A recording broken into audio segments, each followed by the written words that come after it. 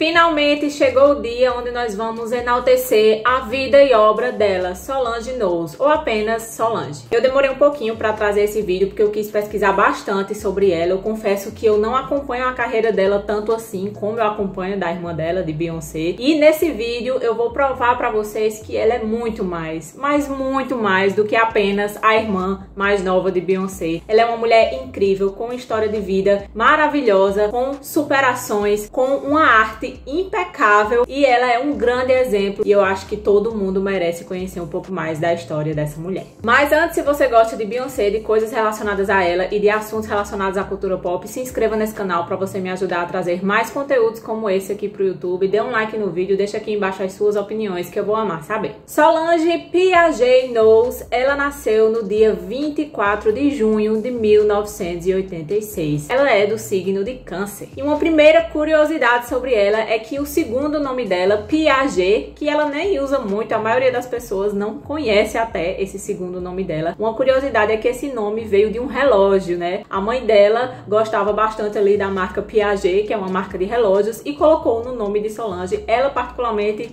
não gosta tanto assim, mas foi a inspiração desse segundo nome dela. Como vocês já devem imaginar, Solange, desde pequena, ela já estava inserida no meio artístico por ser irmã de Beyoncé, né? Ela desde pequena pequena já estava ali acompanhando os ensaios do grupo Girls Time, que foi o primeiro grupo de Beyoncé. Ela via ali a irmã ensaiando com as colegas e tudo mais, então ela já cresceu nesse ambiente, o que fez o despertar artístico dela ser bem cedo também. E foi aos 9 anos de idade que ela já iniciou a compor as suas primeiras músicas e aos 13 anos de idade ela iniciou na carreira artística contra a vontade dos pais. Ela conta que os pais dela não queriam que ela seguisse essa carreira porque eles viam ali em Beyoncé o quanto era difícil, o quanto tinham altos e baixos e eles não queriam isso para Solange, a sua filha mais nova, mas mesmo assim ela queria seguir essa carreira inicialmente como dançarina. Ela tinha esse primeiro plano de ser dançarina e os pais apoiaram ela ainda que fosse contra a vontade deles. E obviamente o seu primeiro trabalho no ramo artístico foi com as Destiny's Child, né? A Solange atuava ali como dançarina do grupo e em alguns momentos ela chegou a substituir a Kelly Rowland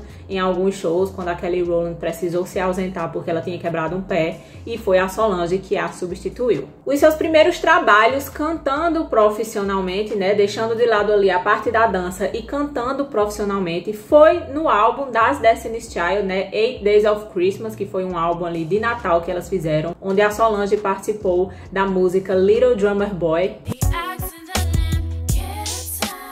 E ela também participou, junto com as Destinies, da gravação da música de abertura do desenho Proud Family, que inclusive Beyoncé se fantasiou desse desenho recentemente no Halloween. Elas participaram ali da gravação da música desse desenho. Como a gente pode ver, Solange, ela é meio considerada uma nepo sister, né? Por ser irmã de Beyoncé, ela mesma já falou em algumas entrevistas que isso abriu muitas portas para ela, mas que se você não tem talento, se você não se esforça e tudo mais, se essas portas se abrirem para você e você não souber aproveitar, ser uma nepo sister não serve de nada, né? E ela teve diversas oportunidades ali com relação às Destiny's Child, como vocês podem ver, e também no ano de 2002 ela estava assim já no auge da sua carreira como compositora e ela participou ali da produção e composição de algumas músicas do álbum solo da Kelly Rowland. O álbum ele se chamava Simply Deep e a Solange participou ali na composição da música Simply Deep, que dá o nome ao álbum.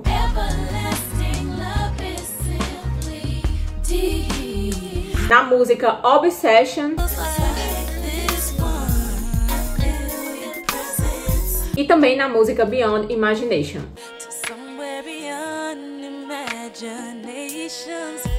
A Solange lançou seu primeiro álbum solo, que se chamava Solo Star. E esse álbum, ele não foi assim um grande sucesso, ele não foi um, uma quebra de recordes e tudo mais, ele teve uma recepção moderada. A própria Solange, ela já falou em algumas oportunidades que ela não ama esse álbum, não é o álbum favorito da vida dela, porque ela fez ele basicamente para agradar a sua gravadora, que tava ali aperreando ela para ela fazer um álbum logo que ela tinha que lançar, então ela meio que fez com essa pressão e esse álbum não a representa artisticamente. Mas o álbum teve alguns destaques, como por exemplo a música Feeling You.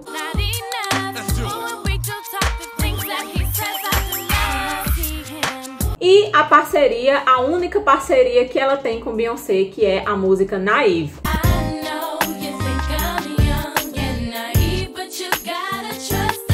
Ela já teve parcerias com Beyoncé ali na composição, mas assim, um feat das duas é a única música que a gente tem. Também no ano de 2002, a Solange participou da música Hey Gold Member, que foi feita por Beyoncé ali para a trilha sonora do filme Austin Powers. E juntamente com a música, a Solange iniciou mais um ramo da sua carreira, que foi a atuação. Ela já participou de diversas séries, filmes e programas, e um dos mais conhecidos que ela participou foi As Férias da Família Johnson.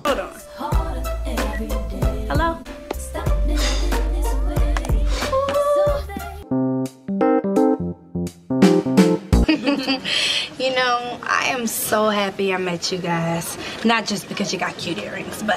a carreira da Solange estava deslanchando ali, iniciou como uma Nepal Sister, né? Participou de várias coisas ali junto com Beyoncé, junto com a Kelly Rowland e junto com as Destiny's Child, e ela estava deslanchando. Mas em um dado momento, a Solange passou por uma grande dificuldade. Antes da gente adentrar nessa dificuldade que a Solange passou, eu queria trazer uma curiosidade aqui para vocês, já que a gente vai adentrar nos relacionamentos dela e tudo mais. O primeiro namoradinho que a Solange teve, né, o primeiro romance dela foi com o cantor Omarion. Se você não conhece ele, ele fez parte daquele grupo que fez muito sucesso ali no início dos anos 2000, B2K.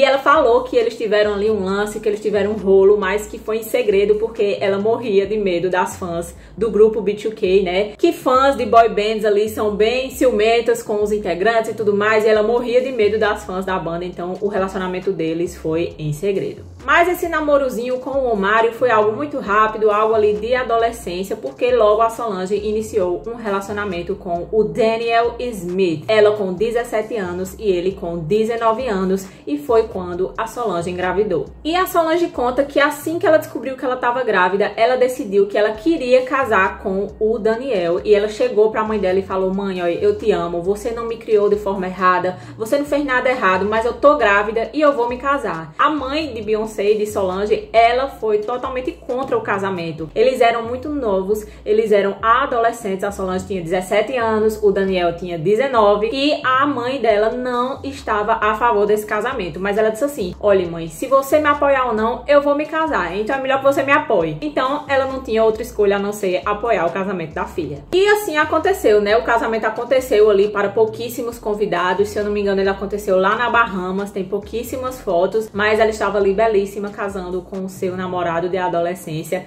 Ele na época estudava ainda, fazia o colegial e ela ali estava na sua carreira artística e grávida do Jules. Vale lembrar que uma curiosidade é que ela aparece ali com o Daniel e grávida do Jules no clipe de Soldier das Destiny's Child. Após se casar com o Daniel e dar a luz ao Jules, né, eles foram morar, a Solange e o Daniel, eles foram morar numa cidade chamada Moscou, em Idaho, lá nos Estados Unidos, porque era onde o Daniel ia fazer a sua faculdade, né? Ele fez uma faculdade ali toda trabalhada em ser jogador de futebol americano. Não sei como é que isso acontece, mas enfim, hoje em dia ele é ex-jogador de futebol americano. Na época ele estava ainda adentrando nessa carreira. E a Solange, para apoiar o seu marido, né, ela se mudou para lá para poder ele terminar os estudos e ela virou dona de casa. Ela falou que esse foi um período muito difícil para ela, muito solitário, porque era apenas ela e o Jules e ela ficava ali sendo dona de casa, cuidando da casa, cuidando do filho, enquanto o marido dela ia terminar os estudos e se tornar um jogador de futebol americano. Mas ainda assim, no ano de 2006, ela, ainda que estivesse ali mais na função dona de casa, ela trabalhou em algumas músicas do álbum B-Day da Beyoncé. Ela trabalhou ali na música Upgrade. Ela também contribuiu com a música Get Me Body. Com a música Flaws and All.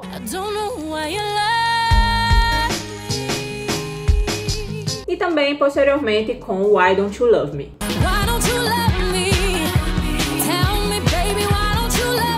Também em 2006, após passar por esse período aí de dona de casa e tudo mais, ela começou a adentrar novamente nas composições, né? Ajudou Beyoncé ali no B-Day. Ela adquiriu o seu papel de maior destaque no cinema, que foi interpretando a Camille, né? Camille, lá no filme As Apimentadas Tudo ou Nada, que é assim, gente, um dos melhores filmes de, de besterol e tudo mais, de, de líder de torcida, de comédia romântica, para você assistir de tarde comendo um balde de pipoca e um brigadeirão, gente. Por favor, assistam, porque a personagem dela é simplesmente maravilhosa.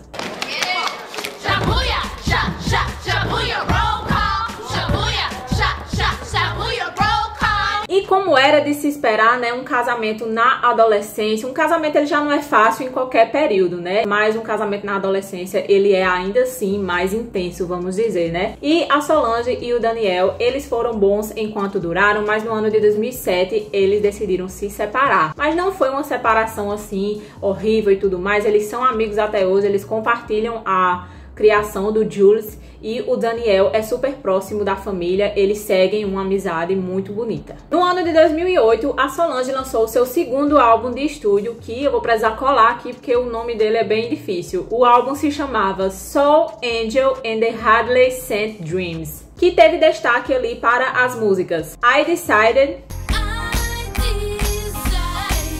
God Given Name, que foi uma música bem pessoal da Solange, onde ela comenta sobre os seus sentimentos ao ser reduzida para irmã de Beyoncé, né? Por muito tempo, acredito que até hoje as pessoas meio que reduzem ela a esse papel de irmã de Beyoncé, né? Ela não tem uma personalidade própria para as pessoas, ela não tem tanto reconhecimento assim para as pessoas, as pessoas não conhecem muito dela. E na música God Given Name, ela fala: Eu não sou irmã de ninguém, eu sou eu, eu tenho nome. Por favor, gente, me valorize valorizo como a pessoa que eu sou, não apenas como a irmã de Beyoncé. Ela meio que tá trazendo esses sentimentos nessa música. É uma música muito honesta, muito bonita. Vale a pena vocês conhecerem.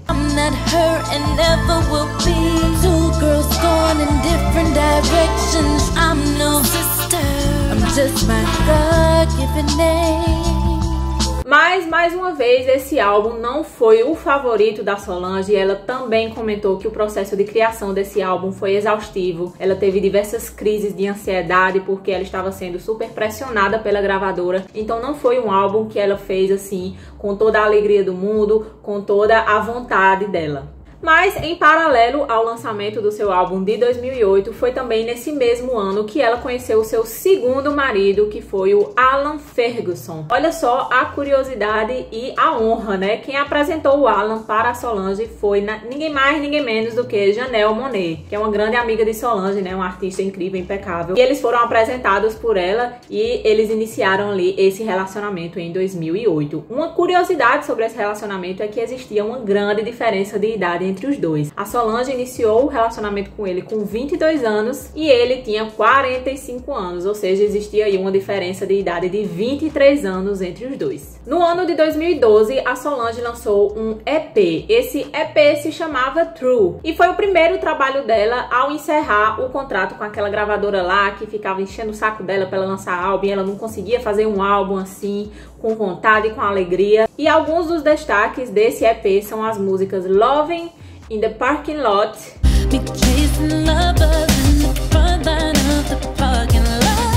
Some things never seem to fucking work. E a mais mais, a minha música favorita da vida de Solange, que é a música Losing You.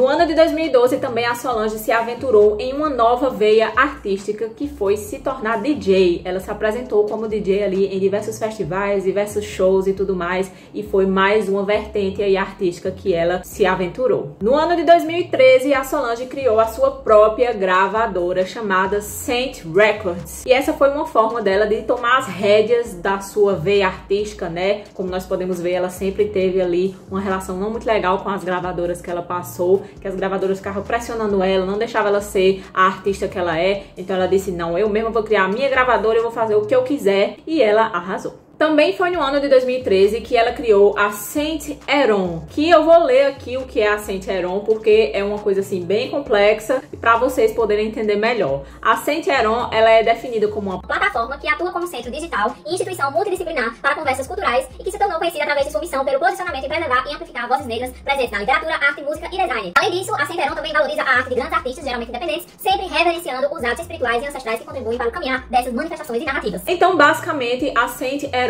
é um centro ali que foi criado pela Solange para poder dar visibilidade à arte negra, seja de música, seja de pintura, seja de qualquer coisa, ela busca trazer visibilidade para esses artistas independentes que não têm, né, dinheiro ou meios para poder jogar para o mundo a sua arte. Então ela traz ali todo esse apoio com a Saint Heron. E foi também em 2013 que ela lançou um álbum chamado Saint Heron, que não é considerado um álbum dela, foi um álbum que ela promoveu, né? Ela aparece ali no álbum, mas é um álbum que é um compilado de músicas de diversos artistas negros que ela quis trazer visibilidade e tinham aí artistas que hoje em dia são bem conhecidos nesse álbum, como por exemplo o Sempa, a Gené Aiko, não sei se fala assim, e a nossa queridinha dos anos 90, Cassie. Foi também no ano de 2013 que a Solange se apresentou no Coachella, fez uma apresentação ali linda e maravilhosa, como ela sempre fez, e teve a participação de Beyoncé ali dançando Luzinho com ela. Foi um momento muito fofo das duas irmãs juntas. E vale lembrar que isso se repetiu lá em 2018, né, quando Beyoncé se apresentou no Coachella e chamou a Solange para dançar com ela, então foi ali uma via de mão dupla. No ano de 2014, a Solange experimentou a maior polêmica de sua carreira, que foi a briga do elevador, né? Eu acho que todo mundo conhece essa situação, quando ali no Met Gala, Beyoncé, Jay-Z e Solange estavam ali num elevador saindo do Met Gala e a Solange estava agredindo Jay-Z e o Jay-Z ali apenas se defendendo e Beyoncé meio que apática no meio disso tudo. E posteriormente as pessoas começaram a acusá-la, né, de ser uma mulher raivosa, de estar sob efeito de drogas e tudo mais, mas posteriormente a gente descobriu que ela tava ali meio que defendendo a irmã dela. Tem um vídeo aqui no canal onde eu trouxe toda essa situação. Não vou me adentrar muito aqui porque eu quero falar sobre a vida e obra de Solange, mas eu tinha que passar por esse momento com certeza da vida dela. Mas assista aqui para vocês entenderem um pouco mais. Mas como nós sabemos, isso já foi superado naquele mesmo ano de 2014, lá pro meio do ano mais ou menos, eles já estavam super bem. Beyoncé e Jay-Z estavam ali celebrando o casamento de Solange com o Alan Ferguson, né? Eles estavam juntos desde 2008 2008 e foi em 2014 que eles casaram numa cerimônia assim bem diferentona, uma cerimônia bem artística. Foi lá em Nova Orleans e eles passaram ali pelas ruas da cidade. Foi uma coisa muito linda. Eu amo esse casamento dela, uma coisa bem a cara dela. Você vê que ela é uma pessoa diferentona e que ela gosta de fazer as coisas com bastante personalidade. E o casamento dela foi super com a personalidade dela, foi maravilhoso e já tava tudo bem entre todo mundo. No ano de 2016, a Solange chegou assim no auge da sua carreira, vamos dizer assim, onde ela lançou a sua Bíblia, o seu álbum mais inário até aquele momento, que foi o álbum A Seat at the Table. Esse álbum, ele rendeu, pasmem, a primeira e única indicação que Solange tem ao Grammy, que ela venceu. Ela venceu na categoria de melhor performance de R&B com a música Cranes in the Sky. E assim, gente, é chocante, né? Você pensar que Solange, talentosa como ela é, ela só foi indicada e só venceu uma vez no Grammy. Mas a gente entende assim, porque ela lançou poucos álbuns, né? Esse foi assim o álbum que ela mais mostrou a sua veia artística, né? Os outros, como a gente viu, ela fez assim meio que contra a vontade dela, então faz-se entender. Mas assim, é revoltante que ela só tem um Grammy e só tem uma indicação. Por favor, Grammy, indique mais a nossa Kinga. E aí, alguns destaques desse álbum foi a música Cranes in the Sky, né? Que foi a que ganhou o Grammy, que o clipe, gente, assim, o clipe é uma obra de arte. É, assim, é maravilhoso. Was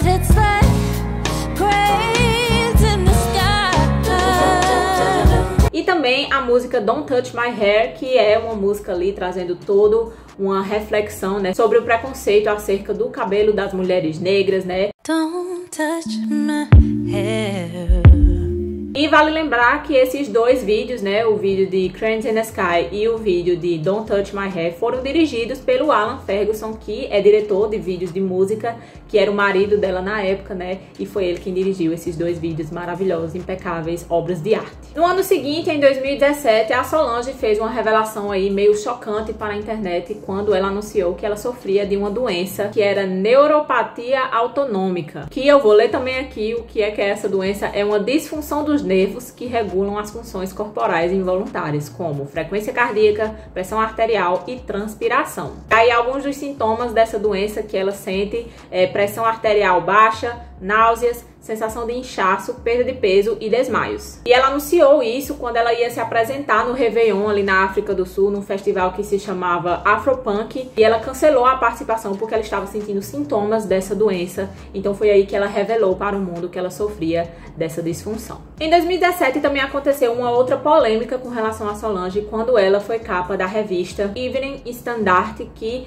ela participou ali de um ensaio fotográfico para essa revista e quando a revista anunciou a capa que ela tinha feito, elas editaram o cabelo de Solange. Solange aparecia com umas tranças nas fotos que elas foram editadas na capa da revista. E a Solange não gostou nem um pouco disso. Ela compartilhou a foto original no Instagram e ela colocou a legenda Don't Touch My Hair, né, que é o nome de uma música dela, né, da música lá do álbum A Seat at the Table, né? Não toque no meu cabelo. E aí a revista pediu desculpas e eles falaram assim: "Nós estamos muito contentes de ter a oportunidade de entrevistar Solange Knowles. E gostaríamos de nos desculpar se sua imagem na capa da revista provocou desconforto e a ofendeu. O objetivo ao alterar a imagem imagem foi para atender o layout da capa, mas assumimos que foi uma decisão errada e gostaríamos de nos desculpar com Solange. Aí em seguida eles lançaram, né, todo o ensaio fotográfico que a gente vê ali o cabelo de Solange todo artístico, né, com umas tranças bem diferentonas, uma coisa muito linda que não precisava ter sido editada. Em 2019, Solange anunciou o seu segundo divórcio, né? Ela já havia se divorciado ali do Daniel Smith, que é o pai do Jules, e em 2019 ela se divorciou do Alan Ferguson. Eles ficaram 11 11 anos juntos, mas ela meio que deu a entender que o divórcio já estava ali meio que iniciando no ano de 2017.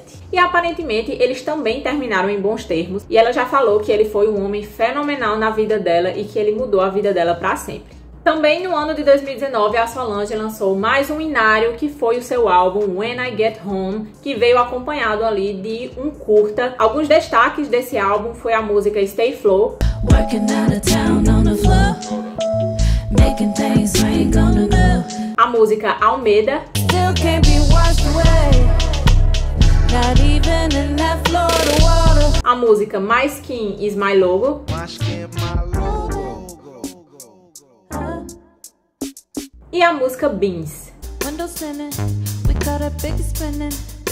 É um álbum que novamente traz toda uma celebração da negritude de Solange. Ela traz aqui uma referência às suas raízes texanas. Nós vemos a presença bastante dos cowboys negros, né? Que agora Beyoncé vai adentrar nessa história, mas a Solange já trouxe ali no seu álbum de 2019. Ela fala um pouco sobre os cowboys negros, sobre as suas raízes do Texas e é um álbum também inário e é maravilhoso. E ela revelou para a revista Vanity Fair que a criação desse álbum, When I Get Home, foi bem difícil porque ela estava ali no auge da sua doença, né? E ela contou assim: quando comecei a criar o When I Get Home, eu estava literalmente lutando pela minha vida, dentro e fora dos hospitais com a saúde esgotada e o espírito abatido. Eu pedi a Deus para que ele me enviasse um sinal se eu iria sobreviver ou não. E ele começou a falar comigo. Metade do tempo eu não sabia de onde vinha. Porém, o álbum When I Get Home, né, ele foi esnobado pelo Grammy, não foi indicado em nenhuma categoria, o que deixa a gente revoltos. No ano de 2020, a Solange anunciou o seu novo relacionamento, que é com o Gil Escobar,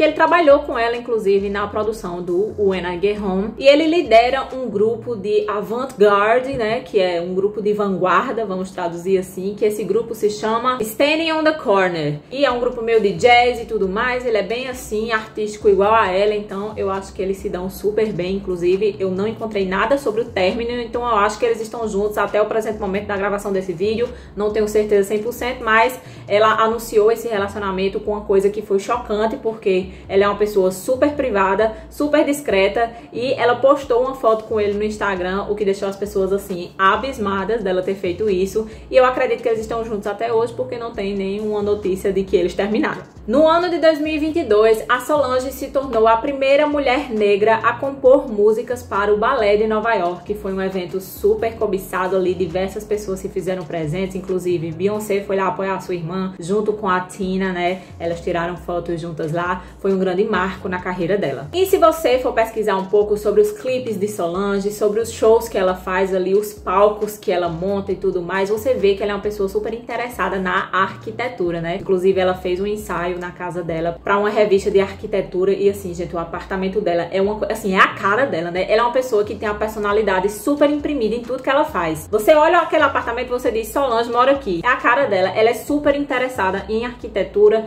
nesse assunto de arquitetura e tudo mais. E no ano de 2023, ela se aventurou ali juntando a arquitetura e a arte, lançando uma linha de copos, que era uma linha ali bem diferentona, que foi uma parceria ali com a sua empresa Saint Eron, né? A sua, o seu instituto ali de valorização dos artistas negros e foi uma parceria também com o Jason McDonald, que se eu não me engano, ele é arquiteto, e eles fizeram essa linha de copos e taças bem diferentões e que eram caríssimos. Agora em 2024, a Solange fez o projeto In Service to Whom, que era uma apresentação ali dividida em quatro atos, que era uma apresentação de música, som, projeções, cenografia, coleções de arquivo, e ela apresentou ali num festival da Austrália, e os fãs inclusive perguntaram a ela se ela ia disponibilizar para assistir em algum lugar, e ela disse: "Hum, estou pensando ainda, vou ver se vem aí", mas foi um projeto bacana que ela fez nesse ano. E agora, mais recentemente, ela fez um ensaio maravilhoso e icônico para Harper's Bazaar, e ela falou o que vem por aí na carreira dela. Ela disse que o seu próximo projeto vai ser lançar um livro. Ela vai lançar um livro sobre a Amasa Lee Meredith, que era uma arquiteta, né? Como nós sabemos, ela tem bastante se interessado pela arquitetura, por esse assunto,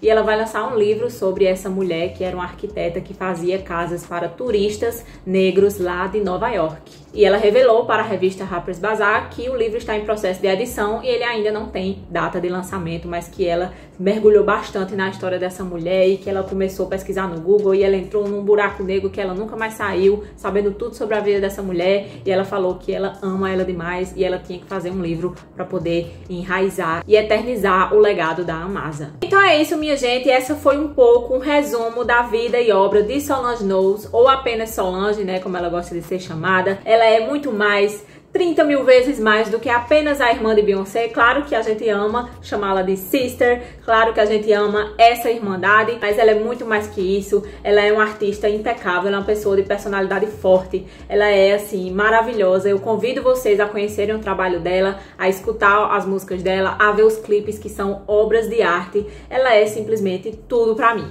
Deixa aqui embaixo nos comentários qual é a próxima pessoa que você quer que eu traga aqui, a vida e obra dessa pessoa que eu trago para você vocês. Não esqueça de deixar um like no vídeo e de se inscrever aqui no canal para me ajudar. Muito obrigada por ter assistido esse vídeo até aqui. Um grande beijo e até o próximo. Tchau!